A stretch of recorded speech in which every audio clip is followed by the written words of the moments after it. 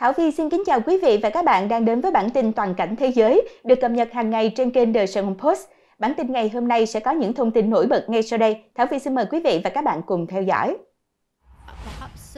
Huỳnh Ngân xin mến chào quý vị khán giả đang theo dõi những diễn biến mới nhất chiến tranh Nga-Ukraine cũng như tình hình thế giới có trong ngày 9 tháng 3 năm 2024 của The Sài Gòn Post. Thưa quý vị, ngày thứ 744 chiến tranh Nga-Ukraine, tranh cãi xung quanh tuyên bố của Tổng thống Pháp về việc cử quân đội châu Âu đến quốc gia đang bị xâm lược đã được dịp bùng lên mạnh mẽ khi Ngoại trưởng Ba Lan Radoslaw Sikorski nói rằng không phải là không thể tưởng tượng được việc quân đội phương Tây có thể được triển khai tới Ukraine để phòng thủ trước cuộc xâm lược của Nga. Theo đó, Sikorski, người phát biểu tại Quốc hội Ba Lan hôm thứ Sáu, đã phản ứng với bình luận gần đây của Tổng thống Pháp Emmanuel Macron, người đã đề xuất vào cuối tháng trước rằng các lực lượng phương Tây có thể được cử đến chiến đấu ở Ukraine nhằm ngăn cản Nga giành chiến thắng trong cuộc chiến. Theo báo cáo từ hãng tin Ukraine European Pravda, Sikorski nói rằng việc có một liên minh gồm các quốc gia thành viên Liên Hợp Quốc để ngăn chặn hành vi xâm lược ở đây không phải là điều không thể tưởng tượng được. Đồng thời lưu ý rằng một liên minh gồm các thành viên Liên Hợp Quốc đã cung cấp các đơn vị chiến đấu và nhân viên quân sự khác ngay từ đầu trong cuộc chiến tranh Triều Tiên năm 1950 khi Triều Tiên xâm chiếm nước láng giềng phía Nam. Đó là lý do tại sao tôi hoan nghênh sáng kiến gần đây của Pháp. Sikorski nói thêm, bởi vì theo tôi có những ý định tốt đằng sau nó. Cụ thể là khiến Tổng thống Nga phải tự hỏi bước tiếp theo của chúng ta sẽ là gì, thay vì để ông ấy chắc chắn rằng chúng ta sẽ không làm bất cứ điều gì sáng tạo và tự lên kế hoạch cho các kịch bản của riêng mình. Thủ tướng Slovakia Robert Fico hồi tháng trước cũng đề xuất rằng một số quốc gia thành viên NATO và EU đang xem xét việc gửi quân tới Ukraine trên cơ sở song phương. Nhà lãnh đạo Slovakia không cung cấp thêm thông tin chi tiết về các cuộc thảo luận như vậy vào thời điểm đó. Đầu tuần này, Tổng thống Séc Peter Pavel cho biết sau cuộc gặp với Macron rằng ông ủng hộ việc tìm ra những cách mới để hỗ trợ quân đội Kiev, bao gồm cả việc tiếp tục đối thoại về khả năng đưa quân tới Ukraine. Theo trang web tin tức Novinki của Séc, chúng ta đừng giới hạn bản thân ở những nơi chúng ta không cần phải làm vậy. Macron cũng lặp lại những tuyên bố trước đó của mình sau cuộc gặp giữa ông và Pavel, kêu gọi các nước phương Tây đừng trở thành những kẻ hèn nhát trong việc ủng hộ Ukraine. Về phần mình, Điện Kremlin cho rằng các cuộc đàm phán về việc gửi quân phương Tây tới Ukraine sẽ vượt qua ranh giới đỏ đối với Nga. Sergei Naryshkin, người đứng đầu cơ quan tin báo đối ngoại của Nga, cho biết trong bài phát biểu trên truyền hình hôm thứ Ba rằng những cuộc thảo luận như vậy cho thấy mức độ vô trách nhiệm chính trị cao của các nhà lãnh đạo châu Âu ngày nay và đặc biệt chỉ trích ông Macron. Tại Mỹ, Tổng thống Joe Biden đã nhắc lại sự ủng hộ vững chắc của Tòa Bạch Ốc dành cho Ukraine trong bài phát biểu thông điệp liên bang hôm thứ Năm và kêu gọi các nhà lập pháp đảng Cộng Hòa ký phê duyệt gửi hỗ trợ bổ sung cho Kiev. Tuy nhiên, Biden lưu ý rằng Ukraine không yêu cầu lính Mỹ giúp tự vệ, đồng thời nói thêm, trên thực tế, không có lính Mỹ nào tham chiến ở Ukraine, và tôi quyết tâm giữ nguyên như vậy. Mở đầu bản tin cập nhật chiến sự Nga-Ukraine và những diễn biến đáng chú ý ngày 9 tháng 3 năm 2024 với một chiến công của lực lượng vũ trang Ukraine ở hướng Zaporizhia. Theo đó, lực lượng Ukraine hôm thứ Sáu cho biết họ đã phá hủy hệ thống gây nhiễu tác chiến điện tử di động gắn trên xe tải R330 Zetel tối tầng của Nga. Trong các hoạt động trinh sát ở vùng Zaporizhia, những người điều hành từ Trung đoàn tác chiến đặc biệt riêng biệt số 3 của lực lượng vũ trang Ukraine đã phát hiện ra hệ thống tác chiến điện tử R330 Zetel tối tầng của Nga. Sau khi giám sát mục tiêu, những người điều hành lực lượng đặc biệt Ukraine đã cung cấp thông tin tin báo quan trọng cho các đơn vị pháo binh HIMARS Ukraine để cùng tham gia tấn công tiêu diệt R-330 Zytel. Quân đội Ukraine đã công bố đoạn video ghi lại khoảnh khắc họ tấn công vào hệ thống tác chiến điện tử hiện đại nhất của Nga. Đoạn video cũng ghi lại những đoạn liên lạc bị chặn giữa các quân nhân Nga. Hệ thống R330 Zetel được thiết kế để phát hiện, phân tích và gây nhiễu các hệ thống liên lạc vệ tinh và điện thoại di động hoạt động trong giải tần từ 100 đến 2.000 MHz. Trạm gây nhiễu này được thiết kế để phát hiện và làm gián đoạn liên lạc của đối phương. R330ZH Zetel được đặt trên xe tải có phạm vi hoạt động lên tới hơn 46 km, công suất gây nhiễu đạt 10 kW, mạnh hơn đáng kể so với tín hiệu GPS đến từ không gian. Mở đầu bản tin cập nhật chiến sự Nga-Ukraine và những diễn biến đáng chú ý ngày 9 tháng 3 năm 2024 với một chiến công của lực lượng vũ trang Ukraine ở hướng Zaporizhia. Theo đó, lực lượng Ukraine hôm thứ Sáu cho biết họ đã phá hủy hệ thống gây nhiễu tác chiến điện tử di động gắn trên xe tải R330 Zetel tối tầng của Nga. Trong các hoạt động trinh sát ở vùng Zaporizhia, những người điều hành từ Trung đoàn tác chiến đặc biệt riêng biệt số 3 của lực lượng vũ trang Ukraine đã phát hiện ra hệ thống tác chiến điện tử R330 Zitel tối tân của Nga. Sau khi giám sát mục tiêu, những người điều hành lực lượng đặc biệt Ukraine đã cung cấp thông tin tin báo quan trọng cho các đơn vị pháo binh Hamas Ukraine để cùng tham gia tấn công tiêu diệt R330 Zitel. Quân đội Ukraine đã công bố đoạn video ghi lại khoảnh khắc họ tấn công vào hệ thống tác chiến điện tử hiện đại nhất của Nga. Đoạn video cũng ghi lại những đoạn liên lạc bị chặn giữa các quân nhân Nga. Hệ thống R330 Zetel được thiết kế để phát hiện, phân tích và gây nhiễu các hệ thống liên lạc vệ tinh và điện thoại di động hoạt động trong giải tần từ 100 đến 2000 MHz. Trạm gây nhiễu này được thiết kế để phát hiện và làm gián đoạn liên lạc của đối phương.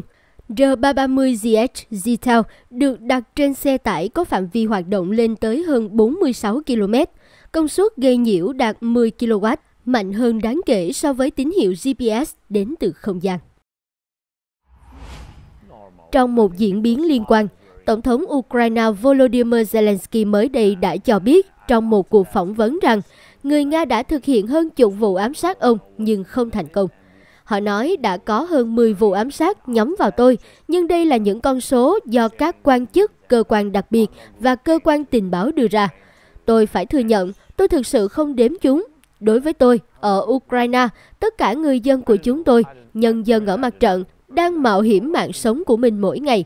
Dân thường cũng gặp nguy hiểm hàng ngày do các cuộc tấn công giống như những cuộc tấn công vào Odessa yên bình. Ông Zelensky trả lời khi được hỏi về các nỗ lực để ám sát ông. Ông Zelensky cũng nhấn mạnh rằng mạng sống của ông cũng gặp nguy hiểm như bất kỳ công dân Ukraine nào khác. Nhà lãnh đạo lưu ý rằng bản thân ông cũng sống trong điều kiện giống như những người Ukraine khác. Vào ngày 6 tháng 3, Nga bị cáo buộc tiến hành một cuộc tấn công hỏa tiễn vào Odessa khiến 5 người thiệt mạng. Vào thời điểm xảy ra vụ tấn công, Tổng thống Zelensky cùng với Thủ tướng Hy Lạp Kyriakos Mitsotakis đang có chuyến thăm chính thức tới thành phố. Được biết, một hỏa tiễn của Nga đã rời cách hai phái đoàn chỉ 500 mét, lúc đó đang ở khu vực cảng. Thủ tướng Hy Lạp Kyriakos Mitsotakis đã có chuyến thăm đầu tiên đến Ukraine kể từ khi cuộc chiến Nga-Ukraine nổ ra vào tháng 2 năm 2022. Ông Mitsotakis đã cùng Tổng thống Ukraine Volodymyr Zelensky tới thăm Odessa, thành phố thường bị Nga tấn công liên tiếp thời gian qua. Chúng tôi nghe thấy còi báo động và một vụ nổ đã xảy ra ngay gần chúng tôi. Chúng tôi còn không có thời gian để chạy đến nơi trú ẩn. Đó là một trải nghiệm rất căng thẳng. Thủ tướng Hy Lạp Kyriakos Mitsotakis chia sẻ. Có thể nói, Pháp những ngày gần đây đã có thái độ cương quyết hơn trong việc sát cánh cùng Ukraine chống lại sự xâm lược của Putin. Ngoài việc úp mở về việc đưa quân đội châu Âu tới chiến trường, Điện Elysee đang đàm phán với các nước Ả Rập để trả lại số vũ khí đã bán của Pháp, sau đó tiếp tục chuyển giao cho Ukraine. Tổng thống Pháp Emmanuel Macron đã công bố điều này trong một cuộc họp báo.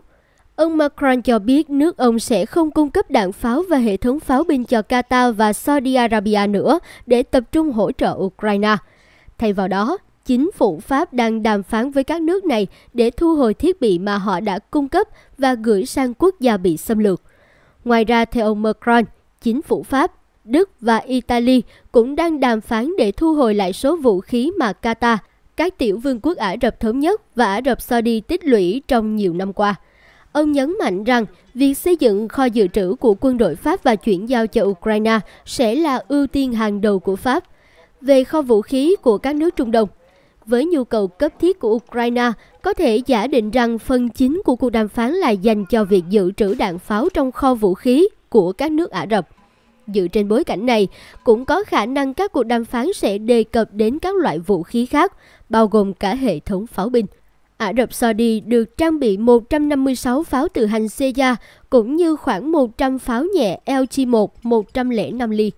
Qatar có một hạm đội pháo binh nhỏ hơn, bao gồm hai chục pháo tự hành 155 ly AMX F3 lỗi thời của Pháp và pháo tự hành BGH 2000 hiện đại hơn nhiều của Đức. Các tiểu vương quốc Ả Rập Thống Nhất hầu như không có hệ thống pháo binh của Pháp, nhưng có một kho dự trữ hỏa tiễn hành trình Scarf Storm Shadow được sản xuất để đáp ứng các hạn chế xuất khẩu và được cung cấp dưới cái tên Black Shahin. Black Shahin khác với các hỏa tiễn ban đầu ở chỗ có tầm bắn giảm xuống còn 290 km để đáp ứng các yêu cầu của chế độ kiểm soát công nghệ hỏa tiễn. Giao tranh đang diễn ra khốc liệt trên chiến trường – Mới đây ở vùng Donetsk, lính dù Ukraine tuyên bố ngăn chặn một cuộc tấn công ở Novomikhailivka, phá hủy 12 xe bọc thép của Nga. Đối phương tiếp tục thách thức mạnh mẽ khả năng phòng thủ của lính dù chúng tôi, những người đang kìm hãm bước tiến của họ trong khu định cư Novomikhailivka. Lữ đoàn xung kích độc lập số 79 Tabria thông báo, đồng thời chia sẻ đoạn video ghi lại cuộc tấn công trên Telegram hôm 7 tháng 3. Theo lữ đoàn Ukraine, lực lượng Nga đã phát động một cuộc tấn công phối hợp từ nhiều hướng vào ngày 6 tháng 3 với sự yểm trợ của số lượng lớn thiết giáp. Cuộc tấn công bắt đầu vào buổi sáng và tiếp tục kéo dài suốt cả ngày, lữ đoàn Ukraine cho biết. Phía Ukraine tuyên bố lính dù Tavria đã đẩy lùi tất cả các đợt tấn công, tiêu diệt 12 xe bọc thép của Nga, trong đó có 4 xe tăng. Đoạn video cho thấy vào thời điểm bắt đầu trận chiến, quân Nga tiến công theo từng đoàn xe về phía vị trí của lính dù Ukraine.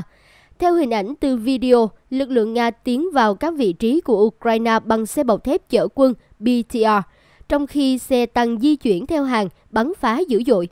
Một sĩ quan quân đội Ukraine nói với Kyiv Post rằng đoạn video cho thấy lính dù Ukraine sử dụng hỏa tiễn chống tăng dẫn đường chống lại quân Nga, trong khi xe tăng Ukraine khai hỏa vào các xe bọc thép của Nga. Sĩ quan này cho rằng lực lượng Ukraine có thể cũng đã sử dụng máy bay không người lái góc nhìn thứ nhất FPV để tấn công, mặc dù chi tiết này không được hiển thị trong đoạn video. Ngoài ra, đoạn video còn cho thấy lính dù Ukraine đốt cháy thiết bị của Nga bằng cách sử dụng đạn thả từ máy bay không người lái Mavic. Đạn được cho là đã phát nổ bên trong xe tăng Nga sau cuộc giao tranh. Một trinh sát Ukraine cho biết nếu lực lượng Kiev không phá hủy các xe bọc thép bị vô hiệu hóa của đối phương, lực lượng Nga có thể đã quay lại vào ban đêm để lấy thiết bị này bằng xe cứu kéo. Vì vậy, lính dù Ukraine đã hành động phủ đầu, biến xe bọc thép của Nga thành sắc vụn. Đoàn xe hùng hậu này được triển khai với mục đích giành chiến thắng dựa vào yếu tố bất ngờ. Tuy nhiên, do trinh sát trên không của Ukraine đã phát hiện sự di chuyển của số lượng lớn thiết bị như vậy từ xa, nên một vụ thảm sát đã được ngăn chặn sĩ quan Ukraine cho biết thêm. Trinh sát Ukraine nói rằng chiến thuật sử dụng xe tăng dẫn đầu một đoàn xe bọc thép chở quân và bộ binh đã được phát triển từ thời Liên Xô. Nếu họ đảm bảo được yếu tố bất ngờ, đây sẽ là một chiến thuật rất hiệu quả. Tuy nhiên, trong điều kiện trinh sát toàn diện trên không, đoàn xe không hoạt động tốt, sĩ quan Ukraine nói thêm. Ông xác nhận lực lượng Nga đã chịu tổn thất đáng kể trong cuộc tấn công, đồng thời nhấn mạnh vai trò quan trọng của trinh sát trên không Ukraine trong việc phá vỡ kế hoạch của Nga. Toàn bộ cuộc tấn công đã bị ngăn chặn nhờ trinh sát trên không bằng cách sử dụng máy bay không người lái Mavic trị giá chỉ 7.850 Mỹ Kim, sĩ quan Ukraine nói. Việc phá hủy hơn 10 xe bọc thép của Nga có thể đã giáng một đòn nặng nề khiến lực lượng Nga thiệt hại hàng triệu Mỹ Kim. Giao tranh đang diễn ra khốc liệt trên chiến trường. Mới đây ở vùng Donetsk, lính dù Ukraine tuyên bố ngăn chặn một cuộc tấn công ở Novomikhailivka, phá hủy 12 xe bọc thép của Nga. Đối phương tiếp tục thách thức mạnh mẽ khả năng phòng thủ của lính dù chúng tôi, những người đang kìm hãm bước tiến của họ trong khu định cư Novomikhailivka.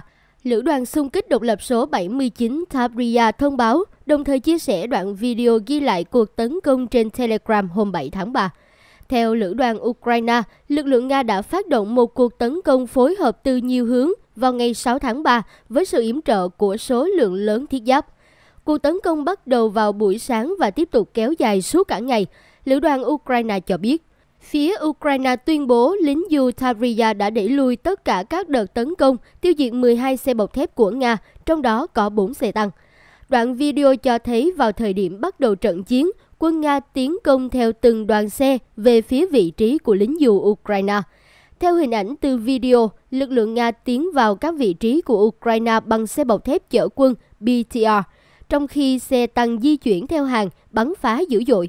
Một sĩ quan quân đội Ukraine nói với Kyiv Post rằng đoạn video cho thấy lính dù Ukraine sử dụng hỏa tiễn chống tăng dẫn đường chống lại quân Nga, trong khi xe tăng Ukraine khai hỏa vào các xe bọc thép của Nga. Sĩ quan này cho rằng lực lượng Ukraine có thể cũng đã sử dụng máy bay không người lái góc nhìn thứ nhất FPV để tấn công, mặc dù chi tiết này không được hiển thị trong đoạn video. Ngoài ra, đoạn video còn cho thấy lính dù Ukraine đốt cháy thiết bị của Nga bằng cách sử dụng đạn thả từ máy bay không người lái Mavic. Đạn được cho là đã phát nổ bên trong xe tăng Nga sau cuộc giao tranh. Một trinh sát Ukraine cho biết nếu lực lượng Kiev không phá hủy các xe bọc thép bị vô hiệu hóa của đối phương, lực lượng Nga có thể đã quay lại vào ban đêm để lấy thiết bị này bằng xe cứu kéo. Vì vậy, lính dù Ukraine đã hành động phủ đầu, biến xe bọc thép của Nga thành sắc vụn. Đoàn xe hùng hậu này được triển khai với mục đích giành chiến thắng dựa vào yếu tố bất ngờ. Tuy nhiên, do trinh sát trên không của Ukraine đã phát hiện sự di chuyển của số lượng lớn thiết bị như vậy từ xa, nên một vụ thảm sát đã được ngăn chặn. Sĩ quan Ukraine cho biết thêm. Trinh sát Ukraine nói rằng chiến thuật sử dụng xe tăng dẫn đầu một đoàn xe bọc thép chở quân và bộ binh đã được phát triển từ thời Liên Xô. Nếu họ đảm bảo được yếu tố bất ngờ, đây sẽ là một chiến thuật rất hiệu quả. Tuy nhiên, trong điều kiện trinh sát toàn diện trên không, đoàn xe không hoạt động tốt, sĩ quan Ukraine nói thêm.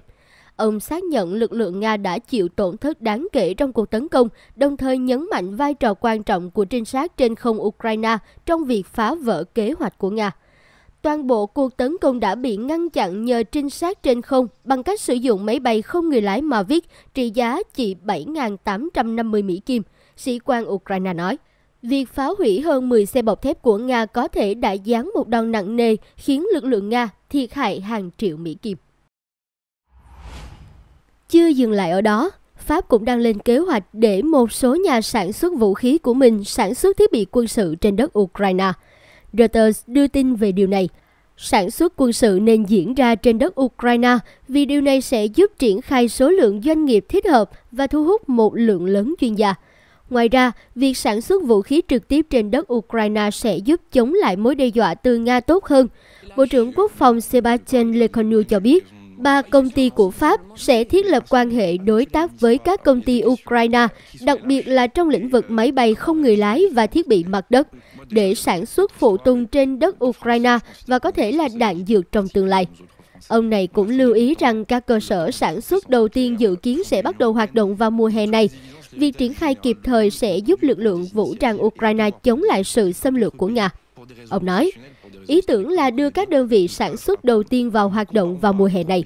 Leconu gợi ý rằng các công ty liên quan sẽ bao gồm nhà sản xuất xe tăng KNDS, cơ cấu cổ phần được thành lập bởi Nexter của Pháp và Krauss-Maffei Westman của Đức. Nhìn chung, Pháp có kế hoạch lớn để triển khai sản xuất vũ khí ở Ukraine. Điều này đã nhận được nhiều phản hồi tích cực từ những người bảo vệ Ukraine.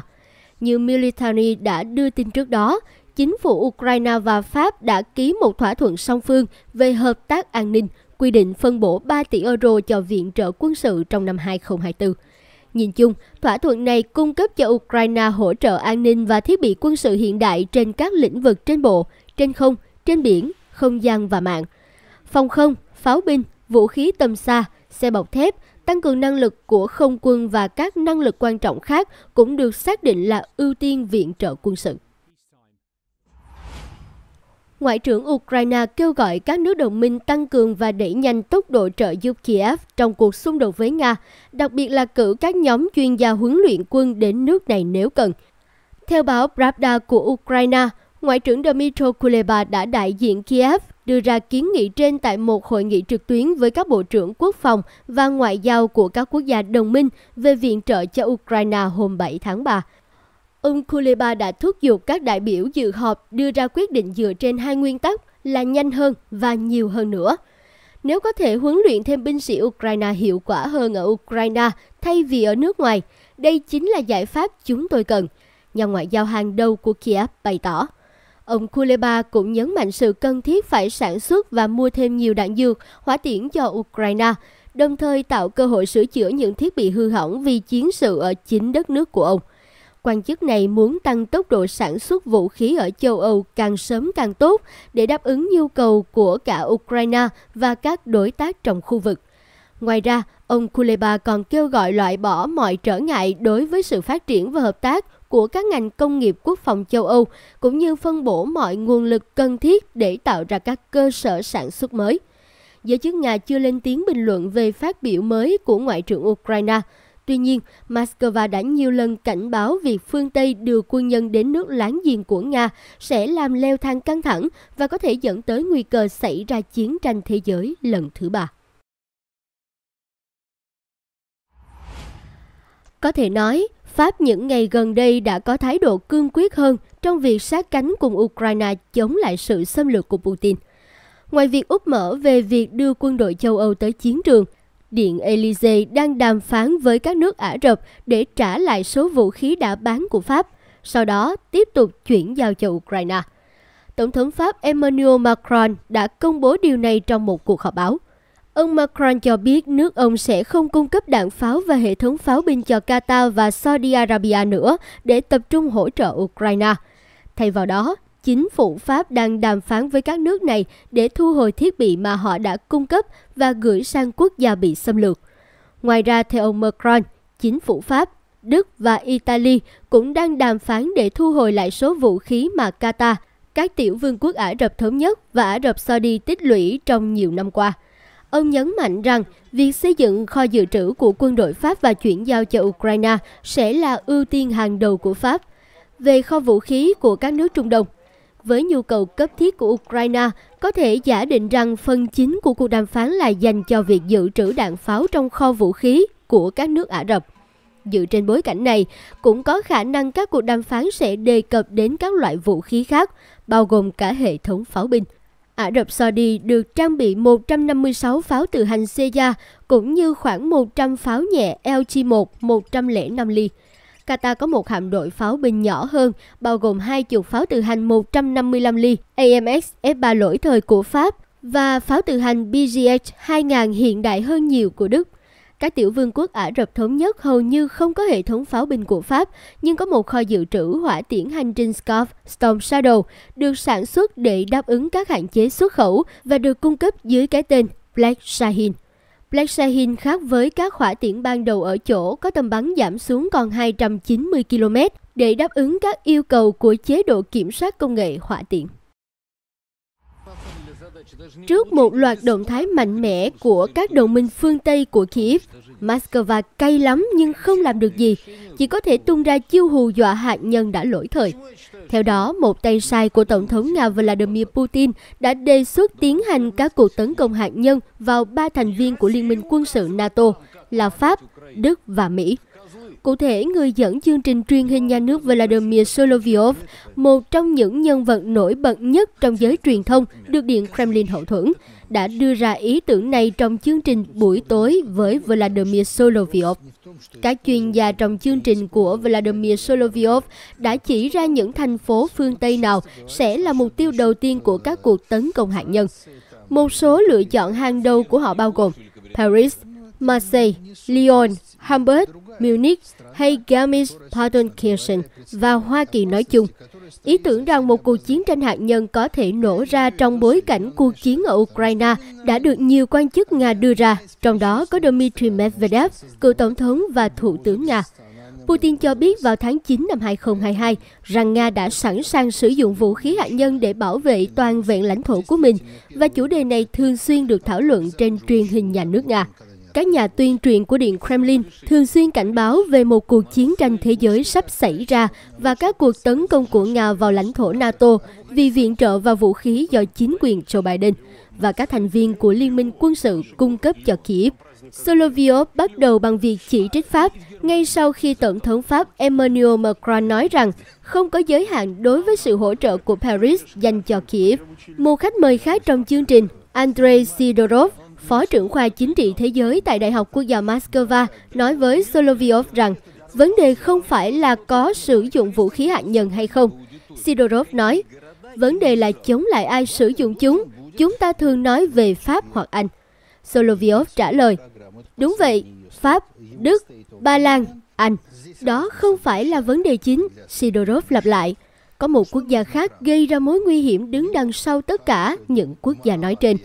Ông nói tiếp, Ý tôi là Hoa Kỳ, không giống như các quốc gia khác mà ông đã đề cập, nước này có thể là mối đe dọa hiện hữu đối với Nga. Vấn đề là, hoặc chúng tôi bắt đầu và tiến hành cuộc tấn công đầu tiên, không ai từ chối ý tưởng về một cuộc tấn công giải giáp. Solovyov cho biết ông chưa quyết định chính xác nơi Nga sẽ tấn công bằng vũ khí hạt nhân. Solovyov nói, tôi chỉ không thể quyết định Paris hay Marseille. Chúng ta nên phá hủy cái gì ở Đức? Có lẽ là Munich, có lẽ chúng ta nên tổ chức một cuộc bình chọn của khán giả xem họ sẵn sàng tha thứ cho thành phố nào. Đồng minh của Putin nói thêm, mức độ điên rồ của nhân loại đã đến giới hạn. Phương Tây sẽ không dừng lại ở bất cứ điều gì. Chúng ta nên đấu tranh quyết liệt với nó bằng tất cả lực lượng và phương tiện trong tay. Tuần trước, trong bài phát biểu thường niên của ông Putin tại Moscow, nhà lãnh đạo Nga đã cảnh báo rằng các lực lượng hạt nhân chiến lược của ông đang ở trạng thái sẵn sàng hoàn toàn. Ông cảnh báo, Nga sẽ không cho phép bất cứ ai can thiệp vào công việc nội bộ của mình. Nhận xét của ông được đưa ra sau khi ông Macron gợi ý rằng các thành viên NATO có thể gửi quân bộ binh tới Ukraine. Như chúng tôi đã đưa tin trước đó về việc Đại sứ quán Mỹ cảnh báo nguy cơ sắp có biến xảy ra ở Moscow và kêu gọi công dân rời Nga. Mới đây sau Mỹ, Đại sứ quán Anh và Hà Lan cũng khuyến cáo công dân của họ Moscow cũng như các thành phố lớn của Nga nên tránh các điểm đông người đề phòng một cuộc tấn công khủng bố sắp xảy ra. Pravda đưa tin, Đại sứ quán Hà Lan tại Moscow ngày 8 tháng 3 khuyến cáo công dân của họ tại Moscow và các thành phố lớn của Nga nâng cao cảnh giác trước nguy cơ các cuộc tấn công khủng bố có thể xảy ra vào cuối tuần này. Theo đó, họ khuyến cáo các công dân tránh những nơi đông người như trung tâm thương mại, các buổi hòa nhạc tại đây trong những ngày tới. Hãy cảnh giác và tuân thủ hướng dẫn của chính quyền địa phương, Đại sứ quán Hà Lan kêu gọi. Cùng ngày, Bộ Ngoại giao Anh cũng đưa ra cảnh báo tương tự. Họ còn khuyến cáo công dân của mình không đến Nga vào giai đoạn này. Tình hình ở Nga rất khó đoán.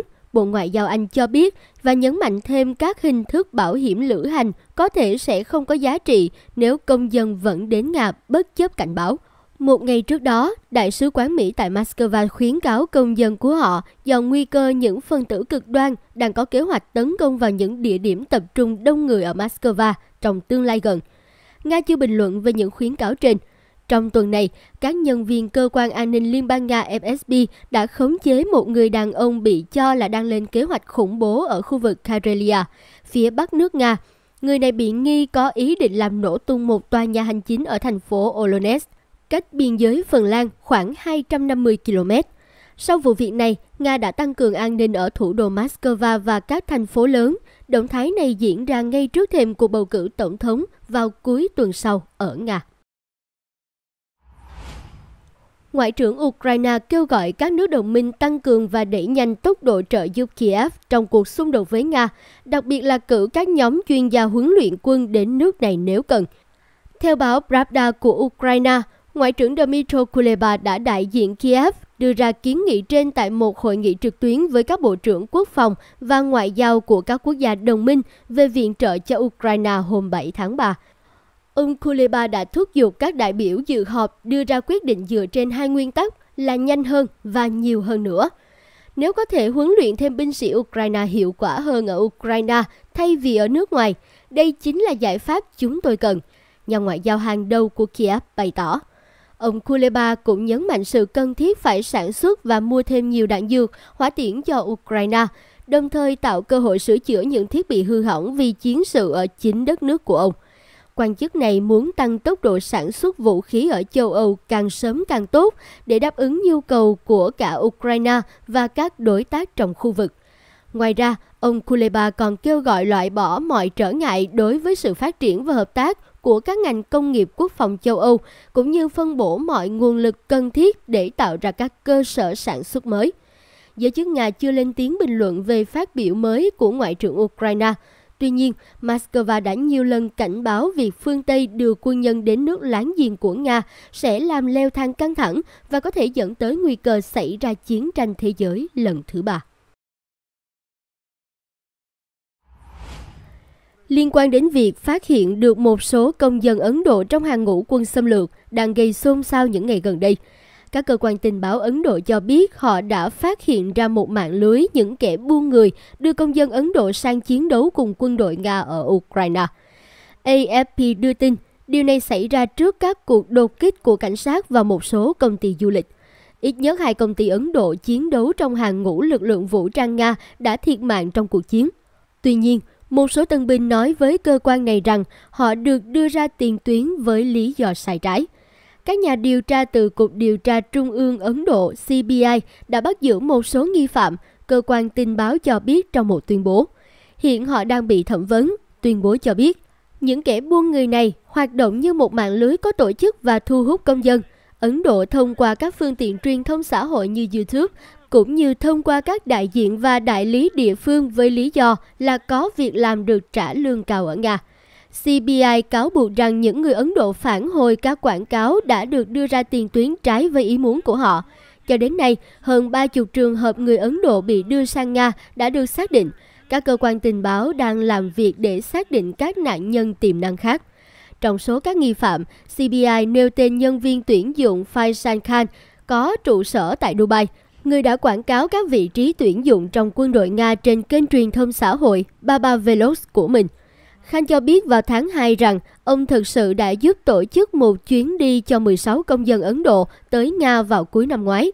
Tuy nhiên, ông khẳng định, theo kế hoạch, những người này sẽ được bố trí ở các vị trí phụ ở phía sau. Khan cho biết, ông kinh ngạc khi các tân binh được cấp vũ khí và quyết định dừng quá trình tuyển dụng. Một số tân binh Ấn Độ nói với AFP vào tháng 2 rằng họ bị dụ dỗ bởi những lời hứa hẹn với mức lương cao và hộ chiếu Nga sau đó được gửi đến các vị trí tiền tuyến.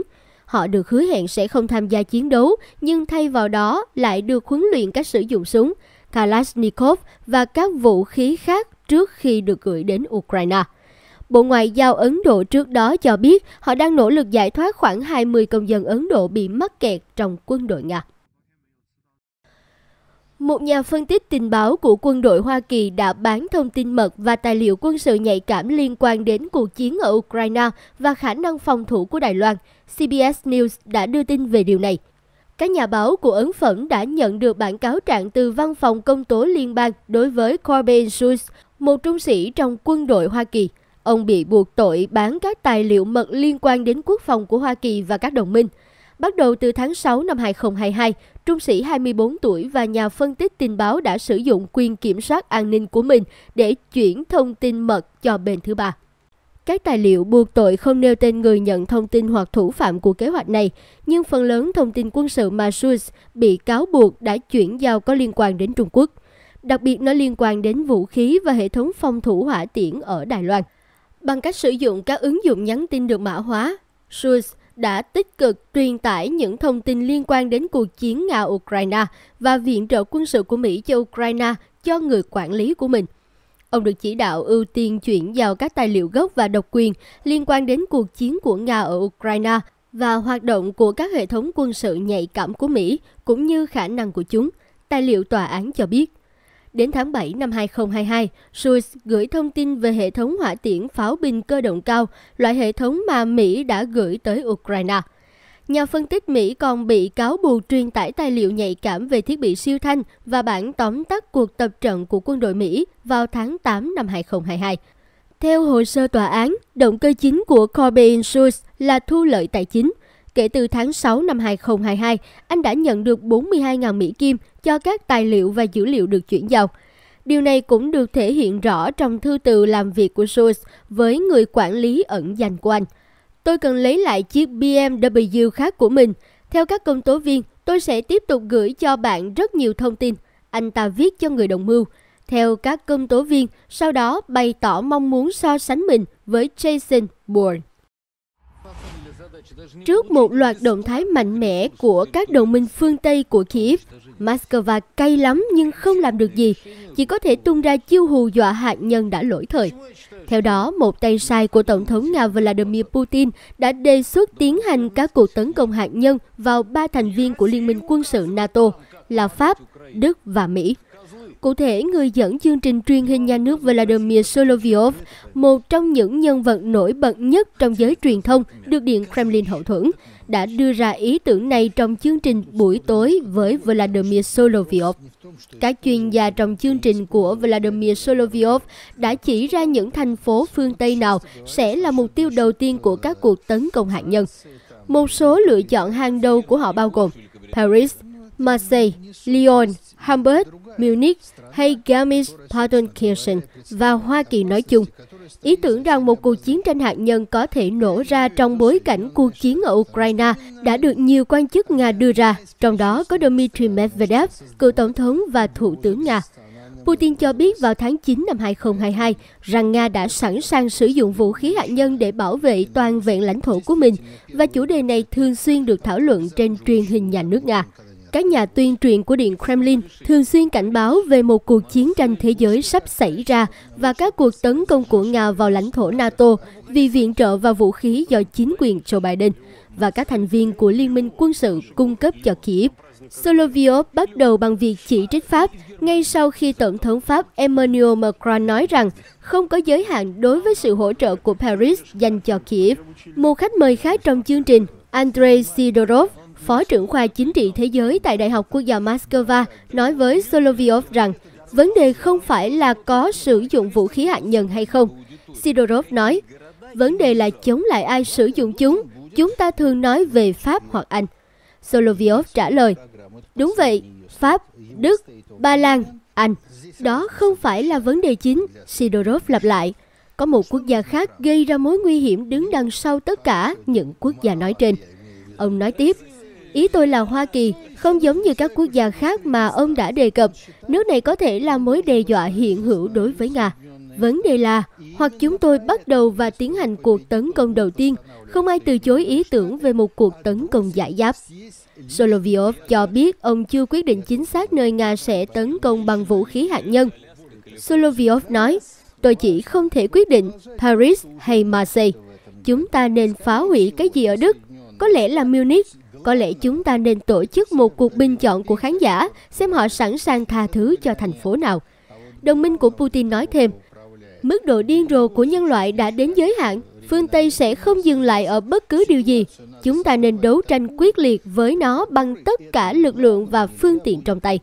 Tuần trước, trong bài phát biểu thường niên của ông Putin tại Moscow, nhà lãnh đạo Nga đã cảnh báo rằng các lực lượng hạt nhân chiến lược của ông đang ở trạng thái sẵn sàng hoàn toàn. Ông cảnh báo, Nga sẽ không cho phép bất cứ ai can thiệp vào công việc nội bộ của mình. Nhận xét của ông được đưa ra sau khi ông Macron gợi ý rằng các thành viên NATO có thể gửi quân bộ binh tới Ukraine. Trong một diễn biến liên quan, Tổng thống Ukraine Volodymyr Zelensky mới đây đã cho biết trong một cuộc phỏng vấn rằng người Nga đã thực hiện hơn chục vụ ám sát ông nhưng không thành công. Họ nói đã có hơn 10 vụ ám sát nhắm vào tôi, nhưng đây là những con số do các quan chức, cơ quan đặc biệt và cơ quan tình báo đưa ra. Tôi phải thừa nhận, tôi thực sự không đếm chúng. Đối với tôi, ở Ukraine, tất cả người dân của chúng tôi, nhân dân ở mặt trận, đang mạo hiểm mạng sống của mình mỗi ngày. Dân thường cũng gặp nguy hiểm hàng ngày do các cuộc tấn công giống như những cuộc tấn công vào Odessa yên bình. Ông Zelensky trả lời khi được hỏi về các nỗ lực để ám sát ông. Ông Zelensky cũng nhấn mạnh rằng mạng sống của ông cũng gặp nguy hiểm như bất kỳ công dân Ukraine nào khác. Nhà lãnh đạo lưu ý rằng bản thân ông cũng sống trong điều kiện giống như những người Ukraine khác. Vào ngày 6 tháng 3, Nga bị cáo buộc tiến hành một cuộc tấn công hỏa tiễn vào Odessa khiến 5 người thiệt mạng. Vào thời điểm xảy ra vụ tấn công, Tổng thống Zelensky cùng với Thủ tướng Hy Lạp Kyriakos Mitsotakis đang có chuyến thăm chính thức tới thành phố. Được biết, một hỏa tiễn của Nga đã rời cách hai phái đoàn chỉ 500 mét, lúc đó đang ở khu vực cảng. Thủ tướng Hy Lạp Kyriakos Mitsotakis đã có chuyến thăm đầu tiên đến Ukraine kể từ khi cuộc chiến Nga-Ukraine nổ ra vào tháng 2 năm 2022. Ông Mitsotakis đã cùng Tổng thống Ukraine Volodymyr Zelensky tới thăm Odessa, thành phố thường bị Nga tấn công liên tiếp thời gian qua. Chúng tôi nghe thấy còi báo động và một vụ nổ đã xảy ra ngay gần chúng tôi. Chúng tôi còn không có thời gian để chạy đến nơi trú ẩn. Đó là một trải nghiệm rất căng thẳng. Thủ tướng Hy Lạp Kyriakos Mitsotakis chia sẻ. Một nhà phân tích tình báo của quân đội Hoa Kỳ đã bán thông tin mật và tài liệu quân sự nhạy cảm liên quan đến cuộc chiến ở Ukraine và khả năng phòng thủ của Đài Loan. CBS News đã đưa tin về điều này. Các nhà báo của ấn phẩm đã nhận được bản cáo trạng từ Văn phòng Công tố Liên bang đối với Corbin Schultz, một trung sĩ trong quân đội Hoa Kỳ. Ông bị buộc tội bán các tài liệu mật liên quan đến quốc phòng của Hoa Kỳ và các đồng minh. Bắt đầu từ tháng 6 năm 2022, trung sĩ 24 tuổi và nhà phân tích tình báo đã sử dụng quyền kiểm soát an ninh của mình để chuyển thông tin mật cho bên thứ ba. Các tài liệu buộc tội không nêu tên người nhận thông tin hoặc thủ phạm của kế hoạch này, nhưng phần lớn thông tin quân sự mà Schultz bị cáo buộc đã chuyển giao có liên quan đến Trung Quốc. Đặc biệt nó liên quan đến vũ khí và hệ thống phòng thủ hỏa tiễn ở Đài Loan. Bằng cách sử dụng các ứng dụng nhắn tin được mã hóa, Schultz đã tích cực truyền tải những thông tin liên quan đến cuộc chiến Nga-Ukraine và viện trợ quân sự của Mỹ cho Ukraine cho người quản lý của mình.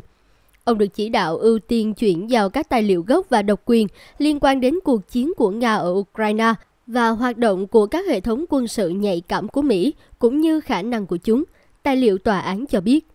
Đến tháng 7 năm 2022, Schultz gửi thông tin về hệ thống hỏa tiễn pháo binh cơ động cao, loại hệ thống mà Mỹ đã gửi tới Ukraine.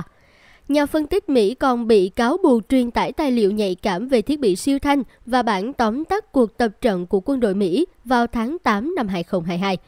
Theo hồ sơ tòa án, động cơ chính của Corbyn Schultz là thu lợi tài chính.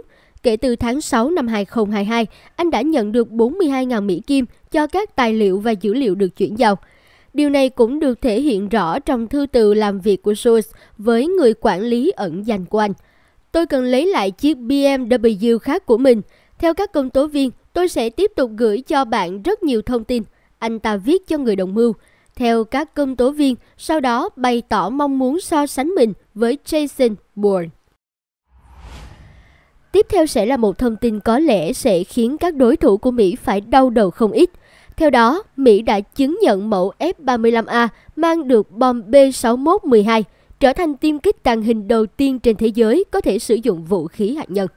Tiêm kích tàng hình F-35A được chứng nhận đủ khả năng vận hành bom nhiệt hạch B-6112 từ giữa tháng 10 năm 2023, sớm hơn 2 tháng so với dự kiến, nhưng thông tin chỉ được văn phòng chương trình F-35 JPO thuộc ngũ giác đài công bố hôm 8 tháng 3. F-35A là tiêm kích thế hệ đầu tiên trên thế giới có khả năng sử dụng vũ khí hạt nhân, cũng là nền tảng máy bay hoàn toàn mới đầu tiên đạt trạng thái này kể từ đầu thập niên 1990. Tiêm kích F-35A đạt chứng nhận vũ khí hạt nhân sẽ mang đến cho Mỹ và NATO năng lực thiết yếu nhằm duy trì cam kết răng đe mở rộng. Phát ngôn viên JPO Russ Gomer cho hay. Chứng nhận mang bom hạt nhân này chỉ áp dụng cho dòng F-35A trong biên chế không quân Mỹ và các nước đồng minh, không có hiệu lực với phiên bản F-35B, có khả năng hạ cánh thẳng đứng và tiêm kích hạm F-35C của Thủy quân lục chiến và Hải quân. B-6112 là dự án nâng hạn sử dụng cho dòng bom hạt nhân chiến thuật B-61, được triển khai từ thời chính quyền Obama. Mỹ không chế tạo thêm đầu đạn hạt nhân cho dòng B-6112 mà tái sử dụng đầu đạn trên những quả bom đời cũ và trang bị hệ thống dẫn đường mới cho chúng.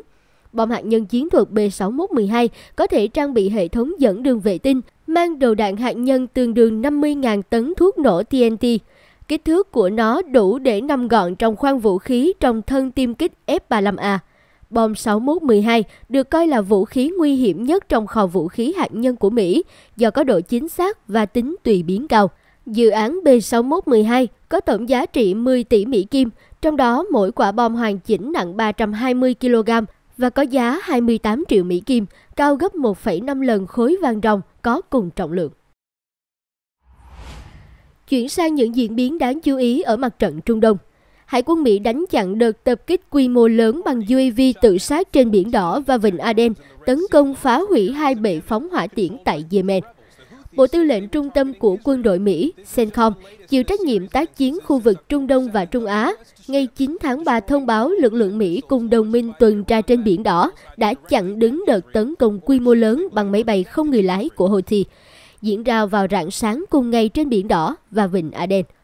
Cencom cùng liên quân nhận định vũ khí Houthi sử dụng là UAV OWA tấn công một chiều, tức UAV tự sát. Liên quân nhận định những vật thể này là mối đe dọa cấp bách đối với tàu hàng, hải quân Mỹ và tàu liên quân trong khu vực. Tàu và máy bay của hải quân Mỹ cùng với tàu và máy bay thuộc liên quân đã bắn hạ toàn bộ 15 UAV OWA. Đây là hành động bảo vệ tự do hàng hải và đảm bảo an toàn, an ninh cho tuyến hàng hải quốc tế, CENTCOM nhấn mạnh. Sau đợt đánh chặn này, Hải quân Mỹ tiếp tục tập kích vào lãnh thổ Yemen trong khu vực do lực lượng Houthi kiểm soát và phá hủy hai bệ phóng hỏa tiễn diệt hạm cơ động của đối phương. CENTCOM khẳng định đây là hành động tập kích tự vệ sau khi Houthi khuya qua phóng hai hỏa tiễn đạn đạo diệt hạm vào vịnh Aden nhắm vào tàu hàng MV Propel Fortune. Tàu này mang cờ Singapore do đảo quốc Đông Nam Á sở hữu và vận hành toàn diện, hỏa tiễn trượt mục tiêu và không gây ra thương vong hay thiệt hại nào cho tàu MV Propel Fortune. Các vụ tập kích biển đỏ của lực lượng Houthi đang ngày càng quyết liệt trong thời gian gần đây, gây lo ngại nghiêm trọng về an toàn hàng hải. Tàu hàng True Confidence treo cờ Barbados bị Houthi tập kích hỏa tiễn hôm 6 tháng 3 ở khu vực biển đỏ ngoài khơi cảng Aden, Yemen. Vụ tấn công khiến một thủy thủ Việt Nam và hai thủy thủ Philippines thiệt mạng, ít nhất hai thủy thủ bị thương. Đây là lần đầu tiên ghi nhận thương vong của các thành viên thủy thủ đoàn kể từ khi Houthi gia tăng tập kích tàu hàng đi qua Biển Đỏ, lấy danh nghĩa là gây sức ép cho Israel ngừng chiến dịch nhằm vào Hamas ở giải Gaza. Hamas là đồng minh của Houthi trong trục kháng chiến chống Tel Aviv ở Trung Đông do Iran dẫn đầu. Tháng trước, thủy thủ đoàn của tàu Rubimar phải bỏ tàu sau khi bị Houthi tấn công. Vụ tập kích khiến con tàu chở phân bón và nhiên liệu bị chìm, làm tăng thêm lo ngại về thảm họa môi trường.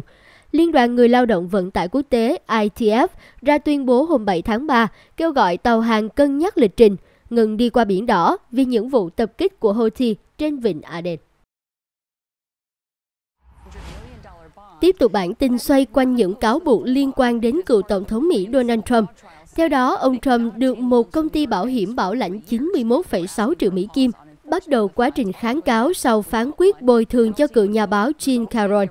Alina Habba, luật sư của Donald Trump, hôm 8 tháng 3 thông báo cựu Tổng thống Mỹ đã nhận được khoản bảo lãnh từ công ty bảo hiểm Federal Insurance nhằm chuẩn bị kháng cáo trong vụ cựu nhà báo Jean Caron kiện ông có hành vi phỉ bán. Số tiền bảo lãnh 91,6 triệu Mỹ Kim sẽ bảo đảm cựu nhà báo Caron được nhận khoản bồi thường 83,3 triệu Mỹ Kim nếu ông Trump kháng cáo thất bại và không có khả năng chi trả. Tuy nhiên, điều này cũng có nghĩa là bà Caron, 80 tuổi, sẽ chưa thể nhận số tiền bồi thường trong giai đoạn kháng cáo, vốn có thể kéo dài nhiều năm. Cựu nhà báo Caron và luật sư có thể nộp đơn phản đối khoản bảo lãnh trước ngày 11 tháng 3 cựu Tổng thống Mỹ, đồng thời là một tỷ phú, từng khẳng định ông không cần nộp bảo lãnh, nhưng cựu nhà báo Mỹ phản đối. Stephen Chung, phát ngôn viên chiến dịch tranh cử của Trump, khẳng định ông Trump quyết định nộp bảo lãnh dư phán quyết của tòa là vô căn cứ và nằm trong cuộc săn phù thủy do đảng Dân Chủ hậu thuẫn. Chưa rõ ông Trump phải thế chấp tài sản nào để nhận được khoản bảo lãnh từ công ty bảo hiểm Federal Insurance Tòa án Mỹ thông thường yêu cầu số tiền bảo lãnh tương đương 110% tiền nộp phạt. Bà Caron cáo buộc ông Trump có hành động tấn công tình dục mình khi hai người gặp nhau ở một trung tâm thương mại tại New York năm 1996. Ông Trump phủ nhận, tuyên bố bà Caron không phải gu của tôi và hoàn toàn dối trá. Bà Caron sau đó kiện ông Trump vì tội phỉ bán tại tòa án New York vào tháng 11 năm 2019 và tiếp tục đệ đơn tháng 11 năm 2022. Bồi thẩm đoàn New York tháng 5 năm 2023 kết luận bà Caron đã chứng minh được hành vi lạm dụng tình dục với chứng cứ áp đảo, yêu cầu ông Trump bồi thường 2 triệu Mỹ Kim. Bồi thẩm đoàn cũng cho rằng cựu Tổng thống Mỹ phải bồi thường gần 3 triệu Mỹ Kim liên quan cáo buộc phỉ bán. Ông Trump kháng cáo và tái khẳng định câu chuyện của bà Caron là giả, được gian dựng bởi một người điên rồ. Phía bà Caron sau đó điều chỉnh vụ kiện, yêu cầu bồi thường 10 triệu Mỹ Kim. Bồi thẩm đoàn tại New York ngày 26 tháng 1 kết luận ông Trump phải bồi thường cho cựu nhà báo Jean Caron 65 triệu Mỹ Kim vì đưa ra nhiều bình luận công khai mang tính ác ý nhằm vào bà. Bồi thẩm đoàn cũng cho rằng ông Trump phải bồi thường thiệt hại 7,3 triệu Mỹ Kim cho bà Caron và chi 11 triệu Mỹ Kim cho chương trình phục hồi danh dự của cựu nhà báo. Tổng số tiền ông Trump phải trả là 83,3 triệu Mỹ Kim, vượt xa đề nghị ban đầu của bà Caron.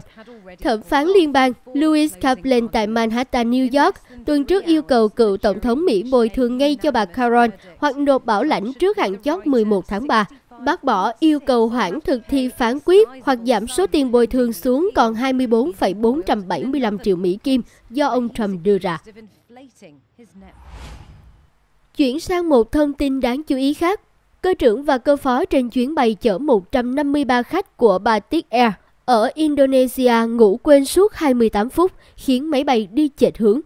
Báo cáo sơ bộ từ Ủy ban An toàn Giao thông Quốc gia Indonesia KNKT cho biết cơ trưởng và cơ phó của hãng hàng không Batik Air ngủ gật suốt 28 phút trong lúc máy bay đang di chuyển từ tỉnh Đông Nam Sulawesi tới thủ đô Jakarta hôm 25 tháng 1. Báo cáo do KNKT công bố cuối tháng trước và được AFP đưa tin hôm 8 tháng 3. Khoảng nửa giờ sau khi máy bay cất cánh, cơ trưởng nói với cơ phó rằng anh cần nghỉ ngơi một lát và cơ phó đồng ý. Sau đó cơ phó nắm quyền điều khiển máy bay nhưng cũng ngủ quên. Cơ phó mới có hai người con sinh đôi khoảng một tháng, vợ anh này chăm sóc các con và anh phụ việc nhà. Báo cáo nêu về tình trạng nghỉ ngơi không đầy đủ của cơ phó. Trung tâm Kiểm soát không lưu ở Jakarta đã cố liên lạc với máy bay nhưng không nhận hồi âm. Khoảng 28 phút sau đó, cơ trưởng tỉnh dậy và phát hiện cơ phó cũng ngủ, khiến máy bay đi chệch hướng. Cơ trưởng lập tức đánh thức cơ phó, phản hồi cuộc gọi từ trạm kiểm soát không lưu và điều chỉnh lại đường bay. Máy bay hạ cánh an toàn và toàn bộ 153 hành khách cùng 4 thành viên phi hành đoàn không gặp vấn đề gì. Chuyến bay kéo dài 2 giờ 35 phút. Điều tra viên của KNKT không nêu danh tính hai phi công, nhưng xác nhận họ đều là người Indonesia, lần lượt ở độ tuổi 32 và 28. KNKT cũng kêu gọi hãng hàng không Batik Air xây dựng các quy trình cụ thể để kiểm tra buồng lái thường xuyên, đồng thời phải đảm bảo các phi công, tiếp viên được nghỉ ngơi đầy đủ trước chuyến bay. Indonesia là quần đảo rộng lớn với hồ sơ an toàn hàng không kém, dù chủ yếu dựa vào vận tải hàng không để kết nối hàng nghìn hòn đảo trên khắp đất nước. Năm 2014, một máy bay A320 đã lao xuống biển Java trong thời tiết xấu, khiến 162 người thiệt mạng. Tháng 10 năm 2018, 189 người thiệt mạng khi chiếc Boeing 737 MAX của Lion Air lao xuống biển. Năm 2021, chiếc máy bay của hãng Sriwijaya Air lao xuống biển, khiến toàn bộ 62 người trên khoang thiệt mạng. Kính thưa quý vị, những thông tin vừa rồi cũng đã kết thúc bản tin toàn cảnh thế giới của The Saigon Post. Chân thành cảm ơn quý vị đã lựa chọn The Saigon Post là nơi để cập nhật tin tức nhanh chóng và chân thực. Chúc quý vị và gia đình luôn mạnh khỏe và bình an. Thảo Vi xin kính chào tạm biệt và hẹn gặp lại quý vị trong những bản tin tiếp theo.